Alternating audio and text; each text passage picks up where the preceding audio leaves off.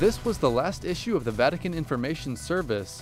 It was created in 1991 in the press office of the Holy See and daily provides news translations on stories about the Pope, the Vatican, and their official press releases. The Pope's prayer intentions for August and his private meetings were part of the last communique to be sent by the Vatican Department known by its acronym of VIS. It was also the first part of the Vatican to create a blog. Now 21 years later, its services will largely be handled by the newly created website news.va and the official bulletin of the Holy See. Starting in September, it will be available in English, Spanish, and French.